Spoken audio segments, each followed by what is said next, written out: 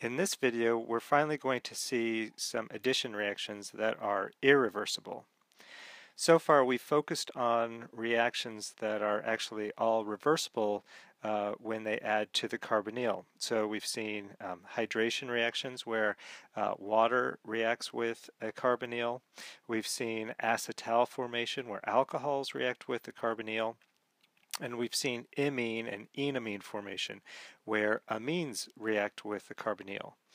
And all of these reactions, um, you can regenerate the carbonyl uh, by essentially shifting the equilibrium and adding, um, in essence, water to many of these uh, in acidic conditions. Um, however, when we take a look at reactions of organometallic reagents with the carbonyls, these are irreversible reactions and they produce alcohols. And so we're going to see this is a great way of being able to synthesize many different types of alcohols. The common um, organometallic reagents we're going to focus on are um, organolithium and um, Grignard reagents. And so uh, here I have an organolithium reagent and it reacts with the carbonyl. We see that the carbonyl carbon, um, it has a partial positive charge and so the uh, organolithium attacks that carbon displacing a carbon-oxygen double bond. The result is uh, a lithium alkoxide and when we treat that alkoxide with aqueous acidic conditions, uh, we can protonate it, and the result is an alcohol, right? So these are um, very easy ways of making alcohols from uh, aldehydes and ketones, right? Reacting an al uh, organolithium reagent with an aldehyde or a ketone and producing alcohols. So the second uh, organometallic reagent is a Grignard reagent, and of course uh, we're going to see that the behavior of Grignards uh, parallels the behavior of organolithiums. Um, it again, the carbonyl carbon is partial positive, so we get attack of the organometallic reagent to that carbon, displacing a carbon-oxygen bond. And again, the result is an alkoxide. The only difference is the salt that's generated, obviously. Uh, and so, again, we can protonate this with an aqueous acid, and we generate an alcohol. So the you know the the take home is um, that uh, organolithium reagents and Grignard reagents react the exact same way. Um, also, a thing to consider is that this is always a two-step process, and you have to show it as such uh, in the reagents. So the first step always forms the alkoxide, and then the second step is a proton transfer um, from the acid to the alkoxide, and so you get protonation to occur. The reason that we have to show it in two steps is because if water were present in the first step, so you know, notice what we're doing here. We're reacting a Grignard with a carbonyl. There is no water present. That's the first step. Then the second step, we're introducing water. And the reason for that is because, remember, if, if we add water to that first step, well, the Grignard reagent or organolithium reagent is a strong base. And so it protonates, uh, water will protonate the organometallic reagent. And this is how we always set it up. Notice our carbonyl, aldehyde or ketone, first reacts with a Grignard or um, organolithium reagent, followed by a second step where you're introducing water or um, an aqueous uh, acid. Okay, so, and it doesn't really matter if it's water or H3O plus, either one of them is going to protonate the alkoxide and you generate the alcohol. So we can design syntheses of very specific classes of alcohols. Remember, a primary, uh, secondary, or a tertiary alcohol. And if we think about how we can go about doing this, we can take a Grignard or organolithium. Remember, um, either one of these behave the exact same way. And if we react one of these organometallic reagents with formaldehyde, again, we're going to generate the alkoxide. Um, and notice there's a CH2 group, and then upon protonation, we get um, RCH2OH. So this is a, a, a nice way of making a primary alcohol. Now, if we take a Grignard reagent or an organolithium reagent and react it with any other type of aldehyde where you have an R group coming off of, uh, of that carbonyl carbon instead of uh, two hydrogens, uh, then again you're going to generate the alkoxide and upon addition of water or an acid now I have generated a secondary alcohol where you have two R groups coming off. One uh, of the R groups was from the aldehyde itself, the other R group was from the Grignard reagent. And then lastly, if I take a ketone and react it with a Grignard, where I have two R groups coming off of that carbonyl, uh, and those R groups can be the same or they could certainly be different, right? So I've designated one R group blue and one R group red. I generate the alkoxide, add water, and I get now a tertiary alcohol. So you see that you know if we if we understand what we want to make in terms of our our synthetic goal, then we kind of know how uh, we can go about getting there from uh, particular reagents, be it a ketone, an aldehyde, or formaldehyde. So keep that in mind. You know, when when you have a secondary alcohol that you want to make, you should be thinking, oh, I can make this from a Grignard reagent and an aldehyde. If you have a tertiary alcohol that you want to make, you can make it from a Grignard reagent and a ketone. So let's look at some examples. Here I have benzaldehyde and it's reacting with propyl magnesium bromide. The way that you name Grignard reagents is you name the alkyl group followed by magnesium bromide. Naming um, organolithiums is the you name the alkyl group followed by lithium. So if this was an organolithium it'd be propyl lithium. Here we have propyl magnesium bromide. Uh, in ether, typical solvent is ether or THF. Um, and then again followed by that aqueous workup. And so what's going to happen? Well, the, the uh, propyl group is going to add to that carbonyl. Uh, it, we're starting with an aldehyde with, uh, so an aldehyde with the Grignard is going to produce a secondary um, alcohol, right? So we have a secondary alcohol here. Notice um, the uh, carbonyl is converted to an alcohol, and I've added uh, that three carbon chain from the uh, Grignard reagent. Right, so it produces a secondary alcohol. Aldehydes with Grignards or organolithiums produce secondary alcohols.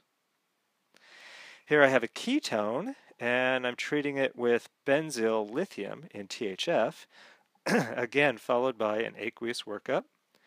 And so what am I going to form here? You should you know start thinking about what you can form. If you're reacting a ketone with a, an organometallic reagent, you're going to get a tertiary alcohol. What happens? That benzylic carbon adds to the carbonyl, right? The carbon-oxygen bond breaks, and uh, upon protonation you get an OH group. So there's that OH group. Uh, notice you know, the way that I typically like to, to think about drawing these is I draw out the um, aldehyde or the ketone kind of backbone.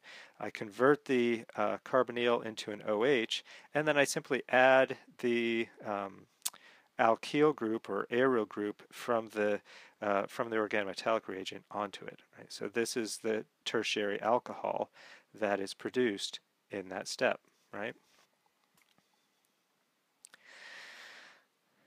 And another example, I have an again an aldehyde um, reacting with cyclopentyl magnesium bromide in ether, followed by an aqueous workup. So notice it's always one step one, step two. If I don't put that one and the two there, then that means that I'm mixing my Grignard reagent with water and I'm not going to actually produce the alcohol that I want. So I would expect to get a secondary alcohol. And this is something you always want to kind of check yourself. Did I produce a secondary alcohol? Well, when I react it, again, I'm drawing out the, the aldehyde backbone. I convert the carbonyl into an OH, and then I add that cyclopentyl group to it, right? And that's a secondary alcohol. In the last uh, um, section, we looked at metal hydrides as well, and these also uh, also add to carbonyls irreversibly. So, uh, typical um, uh, reagents that we use are sodium borohydride and lithium aluminum hydride. So NaBH4 or LiAlH4, right? These are two very common hydrides that um, are going to be used throughout. And the structure of these um, actually is very similar to one another. With sodium borohydride, you have a sodium ion, right? These are salts. So you have a sodium ion, and then you have a borohydride anion. And the borohydride anion is a tetrahedral um, ion uh, where the negative charge is on the boron. But this is a hydride donor, so it, it donates um, a hydrogen plus a pair of electrons, okay? And it actually can donate four hydrides. Lithium aluminum hydride looks very similar, right? It's also a salt with lithium cation and then the uh, aluminum hydride anion, where the negative charge is on the aluminum. So these two behave um, very similarly in their outcome. and the way that this works is that um, uh, we, we've kind of alluded to these reagents um, already, where if I take uh, aluminum hydride and uh, I put it in, in, water, I actually get a reaction that takes place where the hydride um, will remove a proton from water and I generate hydrogen gas plus um, the uh, aluminum high, uh, trihydride hydroxide uh, anion. And of course, this can happen three times more, right? Three more times because there are three more hydrides there. And, and in the end, I can produce four equivalents of hydrogen um, from one equivalent of aluminum hydride. So I can produce four moles of hydrogen from one mole of aluminum hydride. Uh, and then the, the final result is I get this aluminum uh, hydroxide salt. All right, so in terms of um, their behavior toward, uh, toward carbonyl compounds, they, in essence, donate a hydride. Uh, and so I can kind of um, you know simplify this structure a little bit it's quite a bit more complex than than I'm showing it because in actuality um, you you form these um, uh, esters of the uh, borohydride esters or aluminum hydride esters but um, for for now I just want you to think about uh, these these two reagents donating a hydride. That hydride attacks the carbonyl carbon, just like uh, Grignard reagents do, right? So the anion attacks the carbonyl carbon, displacing that carbon-oxygen bond, you generate an alkoxide. So again, just like organometallic reagents. And course, when we uh, protonate that with water, um, then we get our alcohols. Now notice, um, if I use formaldehyde here uh, with a hydride, I can generate uh, methanol. Uh, and so I'm not adding a an R group to it, I'm adding a hydrogen to that carbonyl.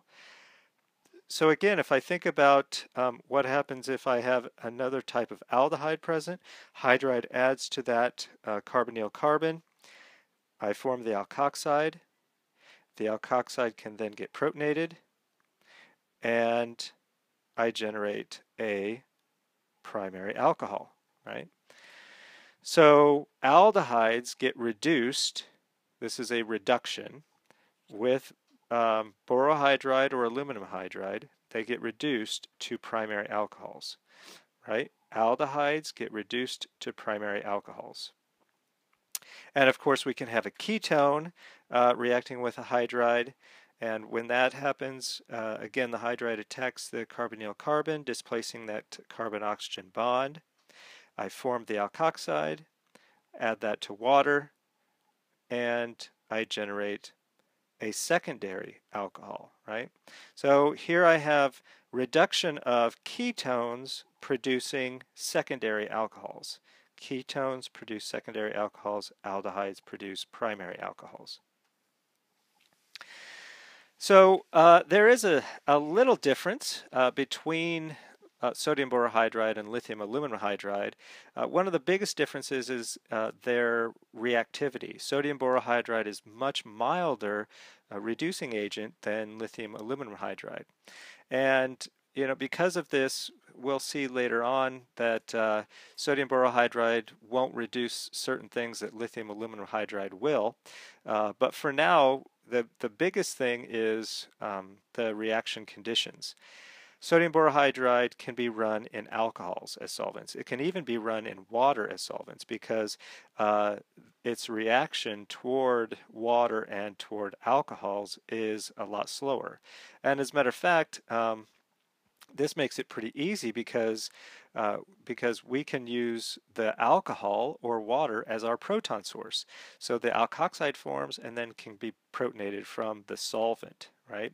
And we don't have to add any additional um, acid to that. Lithium aluminum hydride, on the other hand, is very reactive toward water. And as a matter of fact, um, you can get uh, um, ignition from the hydrogen gas being uh, being evolved from that reaction. Uh, and therefore you can't run any reactions with lithium aluminum hydride in water. They have to be run in ether or THF followed by the addition of water to protonate the alkoxide. So uh, here are here's a typical kind of setup of a reaction where I have um, a ketone and I'm reacting with sodium borohydride in methanol. So notice I'm using methanol as a solvent. One other thing to note about this example is I have um, another pi bond. And so we should always be thinking about, well, if, if uh, a reagent can reduce one pi bond, can it reduce another? Think about hydrogen. Hydrogen will reduce a carbonate or uh, an alkene, pi bond.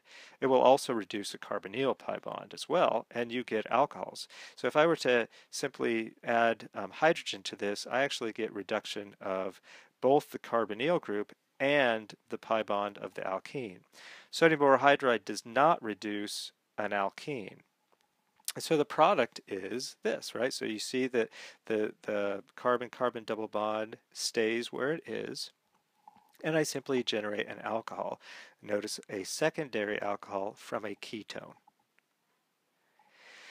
Here I have an aldehyde and, and again notice the reagent setup. If I use lithium aluminum hydride, I have to run it in two steps. The first step is in ether followed by the addition of water.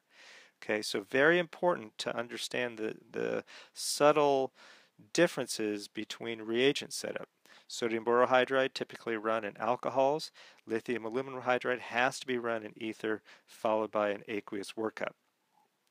Since we have uh, an aldehyde here, we're going to generate a primary amine.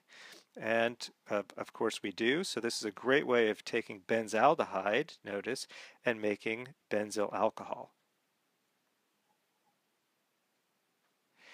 And so this is, uh, so we've seen now um, two different types of reactions of, uh, of organometallic reagents, so to speak, with uh, carbonyl compounds. And all of them produce uh, alcohols. So now we have quite an arsenal uh, of ways of making different types of alcohols. And you need to practice this because this is what we're going to be doing a lot of in the next few weeks.